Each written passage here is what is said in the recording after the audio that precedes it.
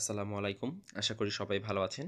আজকে আমরা estimating and costing ওয়ানের ষষ্ঠ অধ্যায়ের একটি গাণিতিক সমস্যার সমাধান করব।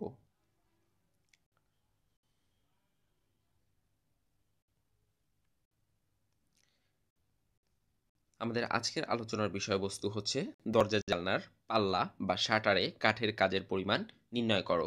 অর্থাৎ দরজা জানলার যে পাল্লা থাকে, সেই পাল্লায় কতটুকু কাঠ লাগতে পারে, কোনো একটি দরজা বা জানলার তৈরি করতে আমরা সেটা নির্ণয় করব। আমাদের যেটা প্রশ্ন আছে সেটা হচ্ছে যে, চিত্র অনুসারে দালানটির দরজা, জানলার পাল্লা বা শাটারে কাঠের কাজের পরিমাণ নির্ণয় করো এবং একটি চিত্র দেয়া আছে। চিত্রর নিচে দরজা, জানলার কিছু মান দেয়া আছে। আপনারা দেখতে পাচ্ছেন যে দরজা, জানলার কিছু মান দেয়া আছে। এই মানগুলো আমি একটু সাইডে লিখে নিচ্ছি সাইড নোট হিসাবে। তো লিখে নিলাম, প্রত্যেকটা দরজা, জানলার পাশে আমি আবার কিছু সংখ্যা লিখেছি। যেমন দরজার পাশে টু জানলার পাশে ওয়ান জানলা ওয়ান থ্রি জানলা টু হচ্ছে টু আর নিচে লিখেছি চৌকাট এইট ইন্টু টেন সিএম এবং রিবেট হচ্ছে one point two five CM চৌকাট এবং রিবেট প্রশ্নে দেওয়া থাকতেও পারে, নাও থাকতে পারে। যদি না থাকে তাহলে ধরে নেবেন, আর যদি দেয়া থাকে তাহলে যেটা দেয়া আছে সেটাই।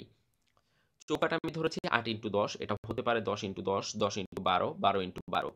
রিবেট আমি ধরেছি ওয়ান পয়েন্ট টু ফাইভ এটা হতে পারে ওয়ান পয়েন্ট ফাইভ আর দরজা জানলার পাশে যে আমি সংখ্যাগুলো লিখেছি, এই সংখ্যাগুলো আমি ফ্লোর প্ল্যানের ভিতর থেকে খুঁজে নিয়ে যে দরজা কয়টা আছে, যেমন দেখেন আমার এখানে দরজা আছে একটা, দুইটা দুইটা দরজা আছে, তাই আমি দরজার পাশে টু লিখেছি।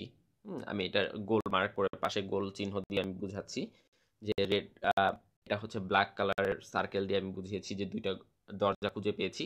ঠিক একইভাবে আমি জালনা পেয়েছি একটা একটা জালনা পাওয়াতে আমি জালনার পাশে ওয়ান লিখে নিয়েছি।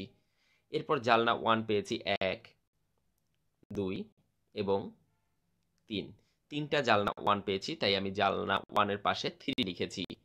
এরপর জালনা টু পেয়েছি একটা এবং দুইটা। এই কারণে আমি জালনা টু এর পাশে টু লিখেছি। এখন এটা ফ্লোর প্ল্যান দেখে আসলে খুঁজে বের করতে হবে।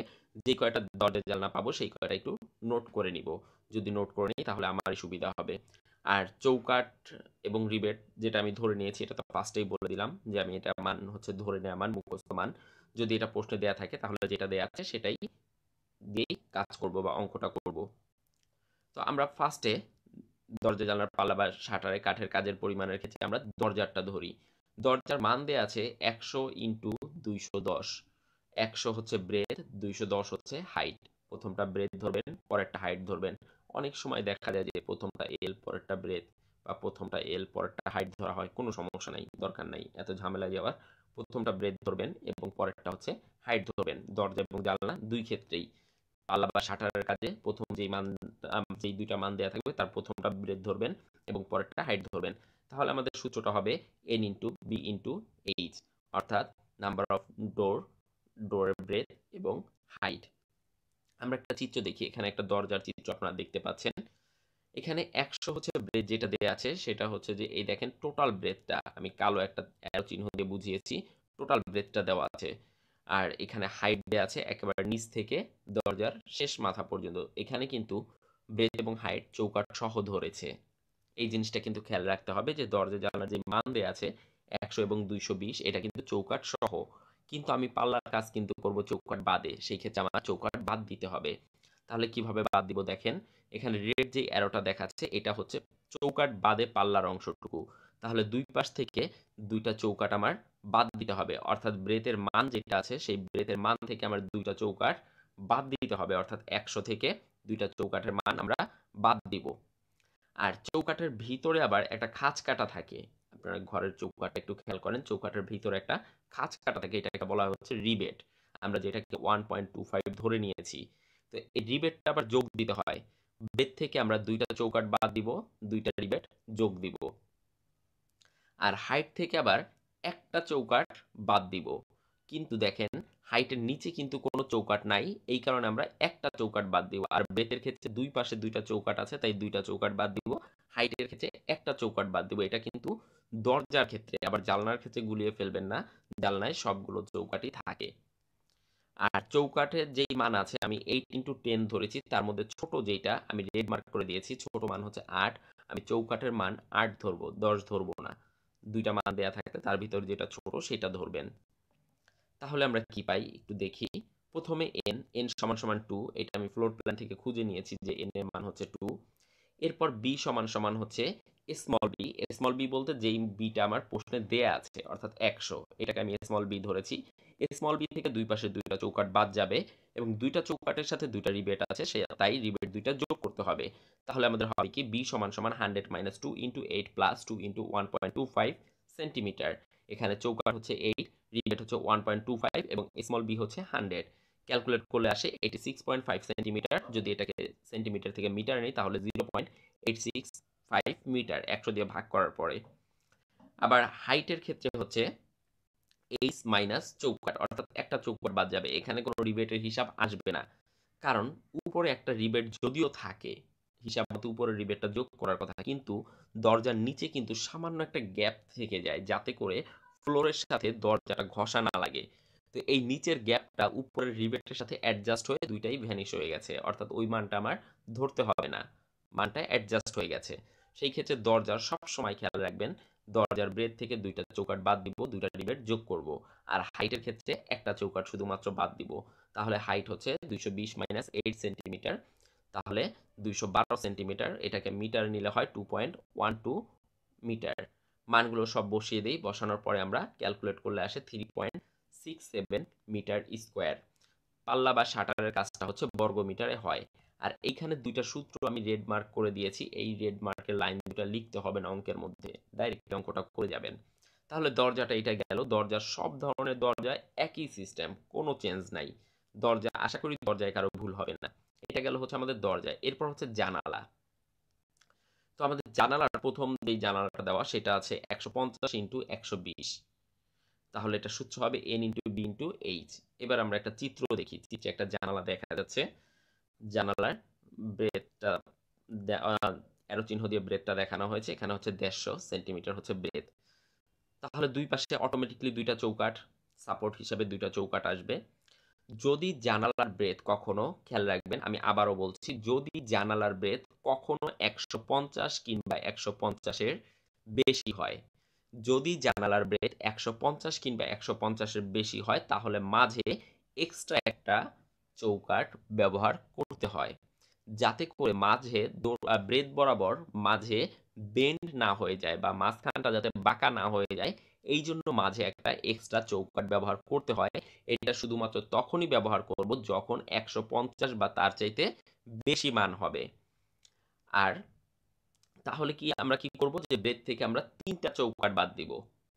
বেদ থেকে আমরা তিনটা চৌকাট বাদ দিব। কখন? যখন জানালা এক বেদ একশো পঞ্চাশ কিংবা তার বেশি হবে।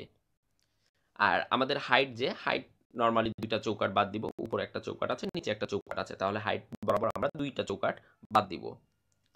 তাহলে আমাদের এটা সূত্রটা কি হবে? আমাদের সূত্রটা হচ্ছে এন এর মান হচ্ছে ওয়ান বি এর মান হচ্ছে বি ব্রেড থেকে তিনটা চৌকাট বাদ দিব, আর চারটা রিবেট যোগ করব। একটা সহজ হিসাব বলে দিতেছি। যদি একশো পঞ্চাশের চাইতে বেশি হয় ব্রেড তিনটা চৌকাট বিয়োগ করবেন চারটা রিবেট যোগ করবেন। যদি একশো পঞ্চাশের কম হয়, প্রশ্ন হতে পারে যে একশো পঞ্চাশের যদি কম হয় ব্রেথ, তাহলে কি করব? তাহলে দুইটা চৌকাট বাদ দিব, দুইটা রিবেট যোগ করব। রিবেট জোড়ায় জোড়ায় যুক্ত হবে। একটা মাঝের চৌকাটটার জন্য দুইটা রিবেট আবারও বলছি, মাঝের চৌকাঠের জন্য বাম পাশে একটা রিবেট ডান পাশে একটা রিবেট দুইটা রিবেট যুক্ত হবে। তাহলে আমাদের বিশ সমান সমান একশো পঞ্চাশ minus three into plus four into one point two five যারা চিত্র থেকে বুঝতে না পারতেছেন যে তারপর আমি ক্লিয়ার হইতেছি না, বিষয়টা কি? দরকার নাই ভাই ওটা চিন্তা করার। ডাইরেক্টলি গ্রেড মার্কেট যে সূত্রটা লিখেছি, সূত্রটা ডাইরেক্টলি মনে রাখেন। এনাফ তাহলে বেত আসতেছে একশো একত্রিশ সেন্টিমিটার এটাকে মিটার নিলে one point three one metre এরপর হচ্ছে হাইট হাইট বরাবর দুইটা চৌকাট বাদ যাবে, দুইটা রিবেট যুক্ত হবে। স্বাভাবিক হিসাব, এটা একশো পঞ্চাশের অনেক কম হাইট একশো বিশ আছে। স্বাভাবিক একশো বিশ থেকে দুইটা চৌকাট বাদ দিলাম two into eight plus two into one point two five যদি ক্যালকুলেট করি, তাহলে হয় একশো ছয় দশমিক পাঁচ সেন্টিমিটার এটাকে যদি আমরা মিটারে নেই, তাহলে আসে one point zero six five metre calculate করলে আসে one into one point three one into one point zero six five M five metre square এটাকে ক্যালকুলেট করলে আসবে ওয়ান পয়েন্ট ফোর জিরো বর্গ মিটার বা মিটার স্কোয়ার গেল একটা জানলা এরপর জানালা ওয়ান জানালা ওয়ানের সাইজ হচ্ছে একশো বিশ ইন্টু একশো বিশ, সূত্র হচ্ছে N into B into H যেহেতু একশো বিশ ইন্টু একশো বিশ স্বাভাবিক জানালা আছে, আমাদের কন্ডিশনটা ঝামেলাটা হবে দেড়শো হইলে। দেড়শো বা চেয়ে বেশি হলে যেহেতু একশো বিশ আছে, তার মানে দৈর্ঘ্য বরাবর আমাদের দুইটা আছে। দৈর্ঘ্য বরাবর দুইটা আমাদের চৌকাট আছে, আবার পোস্ত বরাবর দুইটা চৌকাট তাহলে বেদ থেকে দুইটা চৌকাট বাদ যাবে হাইট থেকেও দুইটা চৌকাট বাদ যাবে নর্মাল হিসাব। তাহলে আমাদের কি আসে দেখি? এন এর মান হচ্ছে থ্রি বি সমান সমান বি মাইনাস টু ইন্টু চৌকাট প্লাস টু ইন্টু রিবেট আমি আবারও বলছি, এটা একশো বিশ আছে এই কারণে, দেড়শোর কম থাকার কারণে। একশো পঞ্চাশের কম থাকার কারণে সূত্রটা হয়েছে বি মাইনাস টু ইন্টু চৌকাট প্লাস টু ইন্টু রিবেট যদি একশো পঞ্চাশ বা তার চেয়ে বেশি থাকতো, অর্থাৎ আগের অংশটার মতো, তাহলে হয়তো বি মাইনাস থ্রি ইন্টু চৌকাট প্লাস ফোর ইন্টু রিবেট আমরা মানগুলো বসিয়ে দিই ক্যালকুলেট করলে আসে one point zero six five এরপর আবার হাইট হাইট হচ্ছে এইচ মাইনাস টু ইন্টু চৌকাট প্লাস টু ইন্টু রিবেট আমরা মানগুলো বসাই, বসানোর পর ক্যালকুলেট করলে আসে one point zero six five metre সবগুলো মান যখন আমরা সূত্রে বসাইলাম, তখন আমরা ক্যালকুলেট করলে পাচ্ছি three point four metre square বা বর্গ মিটার এরপর হচ্ছে আমাদের পরবর্তী জানালা। পরবর্তী জানালাটা একশো ইন্টু একশো বিশ, অর্থাৎ স্বাভাবিক। যদি একশো পঞ্চাশ না হয় বা একশো পঞ্চাশের বেশি কিংবা একশো পঞ্চাশ না হয়, তাহলে কোনো চিন্তা করার দরকার নাই, স্বাভাবিক অঙ্ক হবে। N into B into H আমরা মানগুলো দেখি এন এর মান হচ্ছে টু বি যেহেতু একশো, অর্থাৎ একশো পঞ্চাশের কম আছে, সেহেতু বি মাইনাস টু ইন্টু চৌকাট প্লাস টু ইন্টু রিবে মানগুলো বসাইলে হয় হচ্ছে eighty six point five centimetre বা zero point six eight six five metre height একশো বিশ, অর্থাৎ একশো পঞ্চাশ কম আছে, সুতরাং টু ইন্টু চৌকাট প্লাস টু ইন্টু রিবেট মানগুলো বসাই, বসাইলে হয় একশো ছয় দশমিক পাঁচ সেন্টিমিটার অর্থাৎ one point zero six five metre সবগুলো মান যখন এখানে বসাইলাম ক্যালকুলেট করলে আসে one point eight four metre square বা বর্গমিটার। তাহলে আমরা যেই কয়টা মান পেয়েছি, সবগুলো মান এবার যোগ করতে হবে। মোট কাজের পরিমাণ? প্রথমে আছে দরজা পরে জানালা পরে জানালা ওয়ান পরে জানালা টু সবগুলো মান যোগ করলে আসে হচ্ছে দশ দশমিক একত্রিশ বর্গমিটার এবং এটাই হচ্ছে আমাদের উত্তর। এই শাটার বা পাল্লার কাজের পরিমাণটা কিন্তু সমাপনী পরীক্ষার জন্য খুবই গুরুত্বপূর্ণ, অর্থাৎ বোর্ড সমাপনী। ফাইনাল পরীক্ষার জন্য খুবই গুরুত্বপূর্ণ এটা এস্টিমেটিং অ্যান্ড কস্টিং ওয়ান এবং এস্টিমেটিং অ্যান্ড কস্টিং টু দুইটার ক্ষেত্রেই কিন্তু গুরুত্বপূর্ণ। সেক্ষেত্রে দুইটা সাবজেক্টের জন্য এটা খুবই গুরুত্বপূর্ণ, খুব ভালোভাবে করবেন। তারপরও যদি কোনো সমস্যা হয়, তাহলে বলবেন সেটা সমাধান নেক্সট ভিডিওতে দেওয়ার চেষ্টা করব। ধন্যবাদ সবাইকে। আল্লাহ হাফেজ।